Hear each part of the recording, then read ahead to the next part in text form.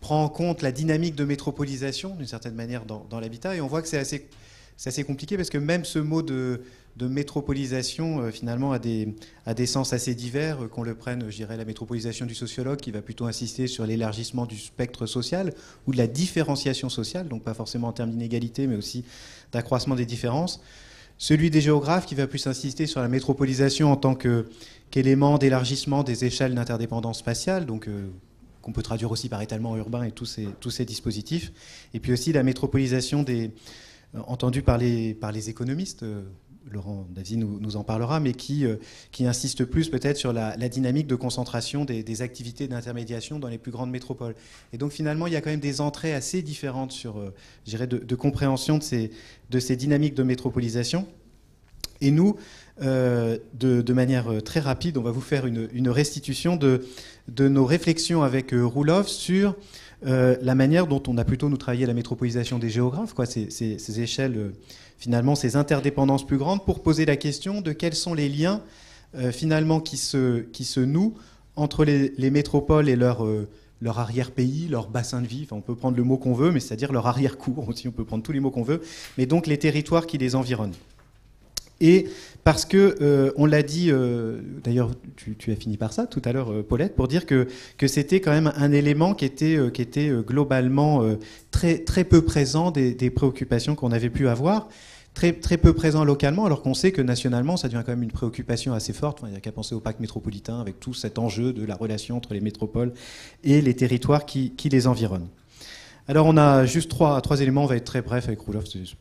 est un on est un peu feignant. Alors, le, premier élément qu'on voulait euh, mettre en avant, c'est euh, la euh, métropole, politique d'habitat et ses dynamiques, finalement, dynamiques d'étalement urbain ou de voilà d'élargissement des aires d'influence des villes pour les navettes quotidiennes. ce qui nous a semblé en, regardant dans, dans, tous les cas, c'est que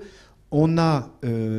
d'une certaine manière un, à Lyon, à Grenoble, à Toulouse, dans beaucoup de ces villes, des politiques qu'on pourrait qualifier de réurbanisation ou densification, qui sont concomitantes et renforcées, je pense, par les émergences métropolitaines. Ça, on l'a bien vu ce matin dans l'exposé de, Toulouse, avec une dynamique de densification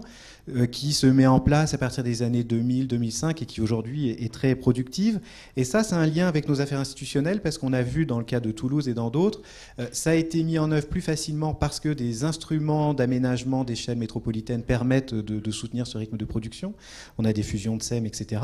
Et puis, il y a des accords de financement pour, euh, pour financer ces, politiques-là. Donc, on les retrouve dans, beaucoup de, villes et c'est d'une certaine manière, ça traduit ces politiques d'attractivité, cette prise en compte de de, cet élément. Dans, ces, métropoles, on a évidemment la même chose à Brest, mais dans, un, dans, une configuration très différente, on pourrait dire, parce que Brest joue aussi la carte de la, euh, finalement du, regain de densité du sang, d'élargissement de l'offre de logement, etc., mais dans un contexte où, le, je dirais, la, la, volonté de la puissance publique ne rencontre pas, euh, je dirais, le,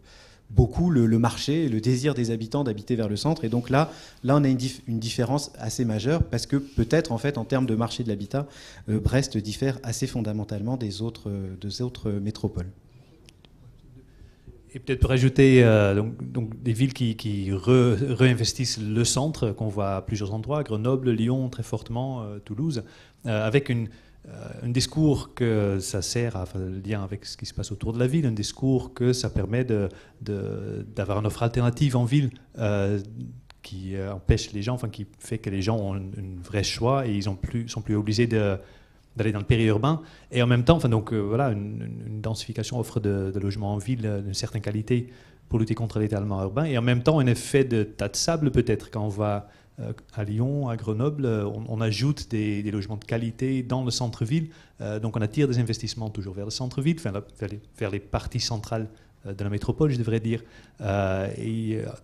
en repoussant du coup peut-être de plus en plus loin les prix fonciers plus bas, les, les gens qui ne peuvent pas se permettre d'habiter en ville. Donc une, espèce de double, double comment dire, résultat euh, d'un côté, oui, on offre une alternative, on attire des gens en ville, on densifie, on, et de l'autre côté, un effet repoussoir euh, vers, vers les territoires de plus en plus loin. le deuxième élément qu'on voulait vous partager sur cette euh, relation entre les métropoles et leur, leur, leur arrière arrière-pays.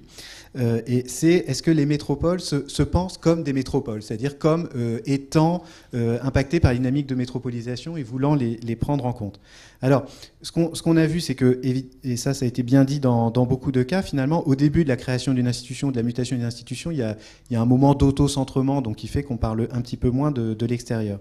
Mais cela dit, on propose, et c'est des hypothèses, hein, peut-être les collègues vont dire qu'on dit n'importe quoi, mais c'est pas grave, proposons. Euh, on a fait un peu deux groupes, parce que selon nous, il y a quelques villes qui, euh, qui, mettent, euh, qui intègrent vraiment ce discours de la métropolisation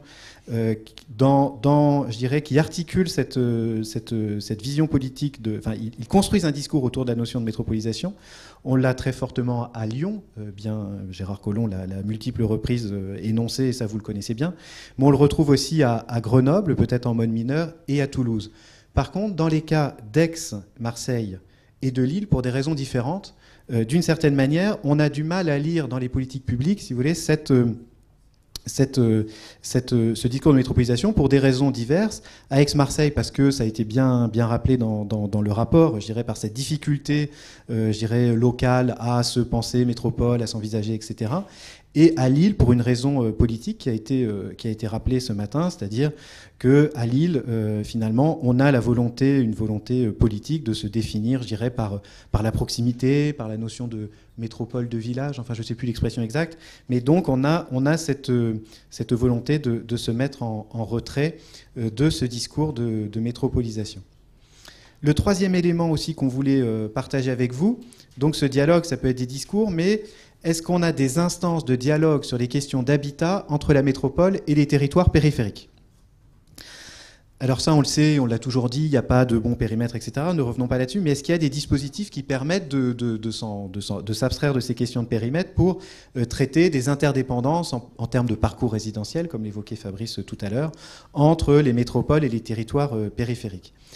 Alors, en fait, on, dans, les rapports, on voit tout un tas de, finalement, de dispositifs de, dialogue, euh, le sillon alpin à Grenoble,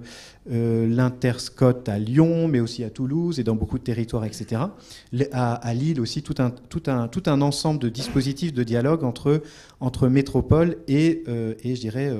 et, leur environnement. Une chose nous a, nous a sauté aux yeux, et certainement à vous aussi, puisque vous l'avez dit pour certains, c'est que finalement, dans ces scènes, on parle de beaucoup de choses, on parle de transport, développement économique, etc. Mais les questions de logement et d'habitat n'apparaissent euh, quasiment jamais, en tout cas, euh, n'apparaissent que de manière extrêmement euh, résiduelle. Et donc là, on voit bien qu'il y a aussi une, difficulté, il y, a, en tout cas cette question-là est très peu abordée, sauf dans un cas, et ça a été bien expliqué ce matin, sauf celui de Brest, où justement c'est la relation entre la métropole et le pays de Brest, où la question du logement est vraiment centrale dans ce dialogue entre la métropole et son, et son, et son, et son environnement immédiat, alors que ce n'est absolument pas le, cas dans les autres euh, territoires. Oui, peut-être très rapidement aussi par rapport à ça. Euh, ce qui, ce qui est intéressant, c'est justement l'existence de ces, de ces structures de, de coopération euh, inter interterritoire, euh, au-delà des frontières de, la métropole. Euh, le métro, le métro, les métropoles, c'est des, acteurs institutionnalisés, relativement lourds, euh, alors que sur les territoires métropolitains, dans, dans l'ère métropolitaine,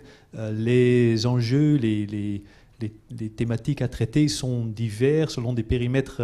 variés. Et ce qui est intéressant, je pense, enfin, il y, a, une piste à, à, travailler. À Lyon, on le travaille dans le cadre de ce qu'on appelle le pôle métropolitain, qui est une, une, structure de coopération euh, discontinue, enfin, qui couvre pas un périmètre de territoire euh, continu euh, entre la ville de Lyon, la ville, enfin, la métropole de Lyon, la métropole de Saint-Étienne, la ville de Saint-Étienne, la ville de Vienne, la ville de Bourgoin-Jallieu et Villefranche, qui travaillent ensemble sur certaines thématiques. Et je pense que plutôt que d'essayer de, de, enfin, tu viens de le dire, de, chercher toujours le périmètre adéquate, euh, il y a une piste à chercher dans ce type de structure de coopération euh, territoriale à, dimension variable par rapport à des enjeux et des sujets variables sur les territoires. Voilà. Et puis, en, en dernier élément plutôt, d'ouverture, ce qui est, dans, le panorama qui était fait par les étudiants, donc on voyait bien apparaître les acteurs communaux, intercommunaux, etc., l'État aussi, de manière parfois discrète, notamment l'État local. Mais un acteur aussi qui est peu présent, c'est celui de la région. Et, c'est vrai qu'on sait qu'aujourd'hui, la, région, en tout cas, via les etc., pourrait avoir un rôle sur la, question du logement. Et on s'est posé la, question de,